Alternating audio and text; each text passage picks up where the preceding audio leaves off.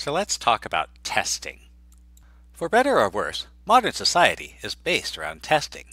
For example, a medical test. We tend to approve of these because early treatment saves lives.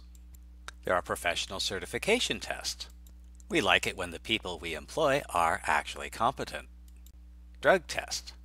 You probably want to know whether the pilot of your airplane is on opiates. Whether it's so important that the recipient of food stamps be drug-free is not quite as clear and loyalty tests, which don't exist in a free society, because if they did, we wouldn't have a free society. Because testing has such profound real-world consequences, we have to ask the important question, how much should we rely on test results? So imagine we have a tester that's capable of examining a subject, and it'll mark them red if they have a condition and green if they don't.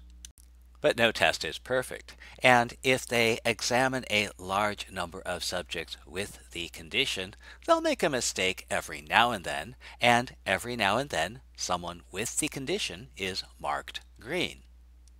Similarly, even though they should be marking everyone without the condition green, they will, uh, from time to time, make a mistake and mark someone without the condition red. What this means is that there are four possibilities for the results of our test. First, a person could have been marked as having the condition. We call this a positive result. Now, if they are marked as having the condition and they actually have it, we say the result is a true positive.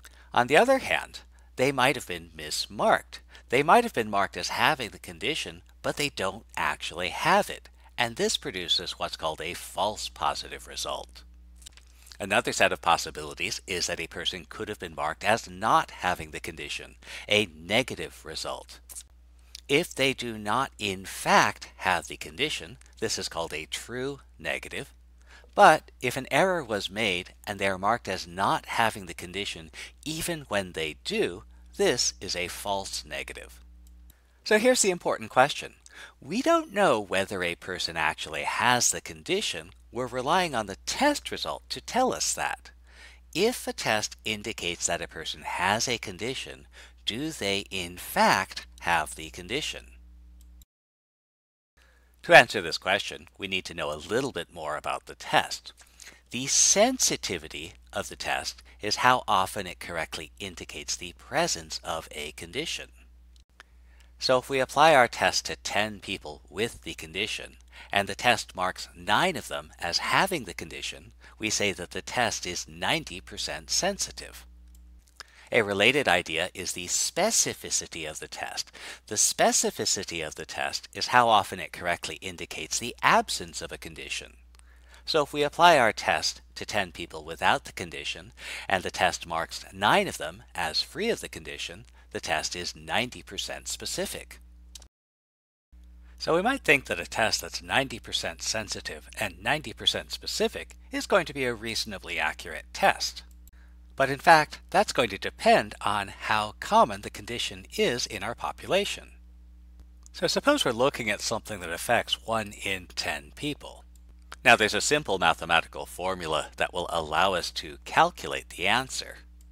But if I ran that computation you wouldn't believe it.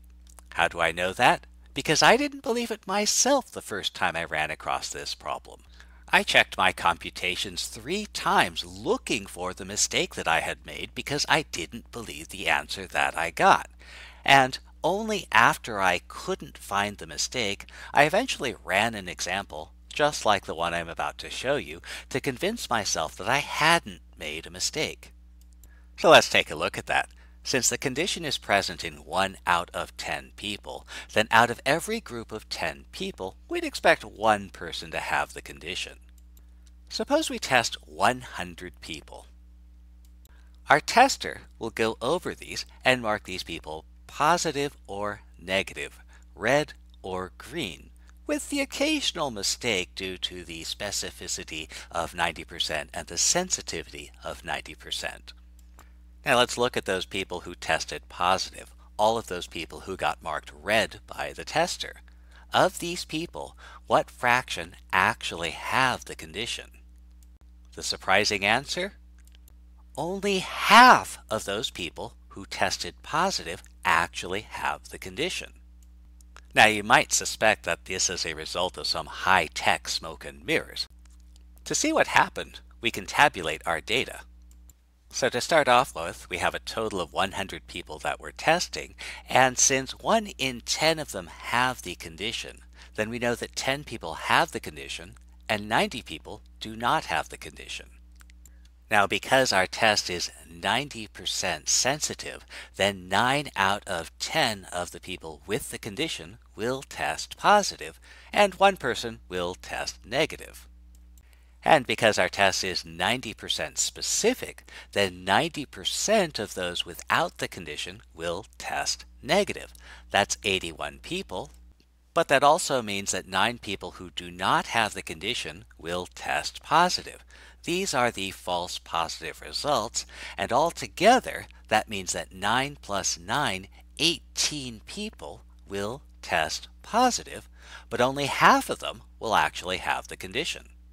And here's the thing to recognize. The test actually gives us the correct result in the 9 positive results for the people who have the condition and the 81 negative results for the people who don't have the condition. So the test gave the correct result in 9 plus 81, 90 cases. So it's a 90% accurate test. But fully half of those who tested positive do not have the condition. And what this means is that if we're going to make life altering decisions on the basis of such a test, we need to be very careful about what we do with positive test results. Side effects of knowledge include greater understanding of the world around you and an increased demand of evidence from elected officials. Difficulty swallowing lies has been reported by some users, as well as a reduced tolerance for flawed arguments, personal attacks, anecdotal evidence, and false equivalences. Other users report becoming addicted to learning. A small percentage of users also exhibit behavior changes, such as fact-checking, rejection of internet memes, and political activism.